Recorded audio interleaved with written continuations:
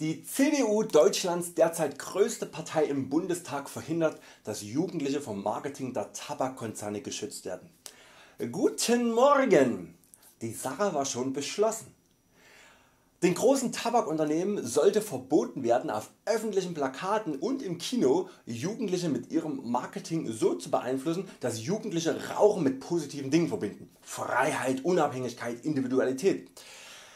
Dieses wird permanent versucht oh, und Kinder und Jugendlichen sind dieser Tabakindustrie auch ausgesetzt. Daher das, äh, hat das Kabinett im äh, April diesen Jahres schon beschlossen, dass ab Juli 2020 diese Werbung verboten werden sollte und keine öffentliche, zu, öffentlich zugängliche Beeinflussung von Kindern und Jugendlichen äh, mehr stattfinden darf. Im Kino entsprechend nur bei Filmen die ab 18 Jahre freigegeben sind. So wird gewährleistet dass die Kinder geschützt sind von ja, den monetären Interessen der Unternehmen. Ein grundsolider Gesetzesentwurf und da auch mal ein Dank an die deutsche Politik, dass sie sich äh, da wirklich gegen die Interessen der Wirtschaft stellt und klar die Interessen des Volkes bedient. Ne? Denn wir alle lieben unsere Kinder und wünschen dass sie möglichst ja, wenig negativen Einflussfaktoren ausgesetzt sind. Und der Wunsch nach Zigaretten und Tabak, Tabak ist definitiv etwas was dem Kind mehr schadet als nützt. Zumindest aus meiner persönlichen Perspektive. Also ist alles gut. Nein! Normalerweise äh, sollte es vor der parlamentarischen Sommerpause behandelt und dann auch endgültig beschlossen werden. Und plötzlich steigt die CDU aus dem Rennen aus. Gewisse Abgeordnete, so äh, Unionsexpertin Gitta Konnemann äh, in der Saarbrücker Zeitung haben plötzlich große Vorbehalte gegen weitere Verbote.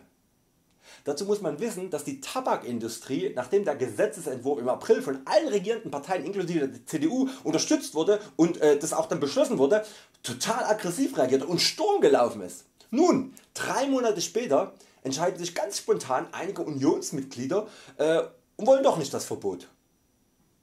Hier kann man ganz klar den Einfluss der Tabaklobbyisten der entsprechenden Wahlkreise erkennen. Äh, auch Manfred Gehr, der Generalsekretär der Deutschen Akademie für Kinder- und Jugendmedizin, äh, durch ihn bin ich erst darauf äh, aufmerksam geworden und dem stimme ich zu.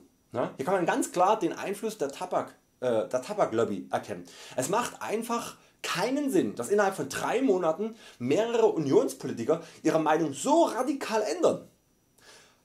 Hier kann man wunderbar den Einfluss der Wirtschaft erkennen. Interessanterweise kann man natürlich auch erkennen, dass dieser eben begrenzt ist. Hier wird verzweifelt mittels Geld und Macht versucht die politische, demokratische Entscheidung im Sinne des Volkes von der Politik sozusagen äh, initiiert äh, zu unterwandern und ähm, ja, gerade mal ist in diesem Fall eine Verzögerung ermöglicht worden. Aber wir werden an diesem Beispiel sehen, dass über kurz oder lang die Politiker, und da bin ich fest überzeugt, im Sinne des Volkes entscheiden werden. Wenn ich äh, diejenigen CDU-Politiker, die jetzt noch äh, ihre von der Wirtschaft gesponserten Schäfchen ins Trocken bringen wollen, dann eben die nächsten Politiker, ähm, die noch mit Idealismus ausgestattet sind, äh, den Idealismus Volksvertreter zu sein. Es gibt hier kein Schwarz und Weiß. Es wird ständig von der Wirtschaft versucht mit der Macht des Geldes politische Entscheidungen zu prägen. Das gelingt mal mehr und das gelingt aber auch mal weniger. Und daher brauchen unsere Politiker das Vertrauen und die Anerkennung der Bürger für die sie einstehen sollen und auch wollen. Es ist sehr gefährlich die Politiker ständig anzugreifen, aber andererseits zu erwarten dass sie den Verlockungen des Geldes und der Macht der Wirtschaft widerstehen. Macht Euch das mal bewusst. Hier sehen wir öffentlich quasi öffentlich würde ich sagen, wie die Wirtschaft alle Hebel und alle Einflussfaktoren in Bewegung setzt. Denn ein derartiger Sinneswandel äh, ja, von einigen CDU-Politikern ist nicht zu begründen, da keine neuen Erkenntnisse bezüglich des Rauchens oder der Schäden äh, durch das Rauchen bekannt wurden. Und äh, ja, dass die CDU sehr wirtschaftsnah ist und entsprechend eine weniger integre Personenstruktur hat wie andere Parteien, das ist auch bekannt. Selbst ihre Regierungspartner SPD, die im Schnitt deutlich volksnäher agieren, zeigt sich komplett entrüstet von dieser Situation, weil es so offensichtlich ist. Der SPD-Mann Rainer Spiering verweist noch einmal auf die Dringlichkeit dieses Gesetzes und zeigt sich komplett fassungslos und hegt öffentlich großes Unverständnis gegenüber seinem Koalitionspartner. Und ich auch. Daher bringe ich Euch diese Information, um ja, diese politische Situation einfach mal transparenter für Euch zu machen. Die CDU lässt sich aufgrund ihrer Wirtschaftsnähe viel schneller von ihren wirtschaftlichen Verbündeten beeinflussen, da äh, ja, ja, weil sie wirtschaftsnah sind. Ne? Und ich sehe auch keine Partei äh, von den großen Parteien, äh, ja, die so nah an der Wirtschaft steht, also FDP zählt für mich nicht mehr als große Partei, wie die CDU. Und denkt bitte daran, wenn ihr 2017 wieder wählt, wer euch vertreten soll. Denkt auch daran, wenn ihr nicht wählt äh, und euch dann wieder aufregt, dass Entscheidungen nicht in eurem Sinne getroffen werden. Daran denken 2017. Denn insbesondere die großen etablierten Parteien wie die CDU, die profitieren von den Nichtwählern. Ja, also heute beim Thema Tabak-Werbeverbot äh, äh, ja, nochmal das bewusste darauf hinweisen. Äh, Marketing ist echt eine unglaubliche Waffe. Viele realisieren das gar nicht, wie sie selber auch Opfer von Marketing sind. Warum wir oft kaufen, was wir kaufen, das ist im Großteil der Fälle äh, dem Marketing von Unternehmen geschuldet. Warum wir denken, dass wir etwas brauchen, entscheidet das Marketing der Unternehmen. Dieser Einfluss ist enorm, gerade in einer recht freien Marktwirtschaft. Das Marketing das ist das Kriegsarsenal des neuen Jahrtausends. Es werden immer weniger Kriege auf dem Land, zur See oder, oder der Luft geführt, sondern die Kriege werden viel subtiler geführt. Es wird auf Wirtschaftsebene übernommen, zugekauft, angeklagt, isoliert und wir die Käufer von Produkten, das sind die Krieger, wir sind die Fußsoldaten. Ob wir Apples iPhone oder Samsungs Galaxy kaufen, das ist von großer Bedeutung. Wir entscheiden uns für eine Marketingkampagne und unterstützen somit eine Seite und wenn wir äh, irgendetwas von beiden kaufen, dann wählen wir den Krieg. Umso wichtiger ist es, dass die Politik dafür sorgt, dass wir in diesen Kriegen, in denen wir zwangsläufig verstrickt werden, äh, nicht noch mehr leiden als ohnehin schon. Dieser Kaufwahn, der Drang immer das neueste Produkt zu wollen, das vergleichende Denken und die Assoziation von technischen Geräten mit einem Lebensgefühl, das ist erschreckend und das ist beängstigend. Aber wenn dann noch, wie beim Rauchen, gesundheitliche Risiken hinzukommen, ja, dann muss und werden auch unsere Volksvertreter intervenieren.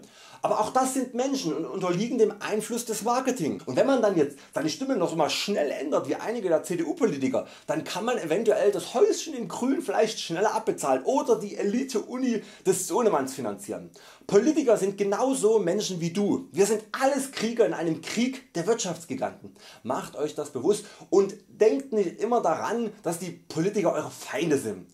Sie sind der einzige Schutz den wir auf gesellschaftlicher, auf übergeordneter Ebene haben und wir sind dafür verantwortlich wen wir da ganz oben als Entscheider haben wollen. Ich hätte lieber ein anderes System geprägt von Liebe und von Freiwilligkeit. Aber da bin ich meiner Zeit voraus. Ich muss genauso wie ihr das müsst in diesem System arbeiten und schauen wie man das Beste irgendwie rausholen kann. Und das bedeutet am System zu partizipieren und es positiv zu beeinflussen, anstatt nur rumzunörgeln und zu meckern. Wählen gehen, schauen was das kleinste Übel ist und, äh, ja, und ob es auch mal eine Partei schafft komplett mit seiner eigenen Meinung deckungsgleich zu sein, sich zu informieren, gibt es neue Parteien und diese dann auch zu unterstützen. Da ich diesbezüglich auch eine ganz klare Überzeugung habe und selber die, gesellschaftlich, die Gesellschaft positiv verändern möchte, werde ich auch hier auf diesem Kanal äh, Menschen auch keinen Raum geben, die, die andere Menschen wirklich permanent überzeugen wollen, dass nichts tun und rumheulen und anderen die Schuld geben die bessere Alternative ist, anstatt wirklich sich positiv zu engagieren. Und das bedeutet vor allem äh, nach meiner Überzeugung Menschen direkt mit Liebe begegnen, Menschen helfen und so weit wie möglich freiwillig ohne Gegenleistung agieren und eben einmal auch alle vier Jahre auch innerhalb des Systems, des politischen Systems seine Stimme zu erheben, bevor man sich wieder den wirklich wichtigen zwischenmenschlichen Situationen widmet, die auch die Menschen nachhaltig ändern und die dann irgendwann auch das politische System als solches ändern werden.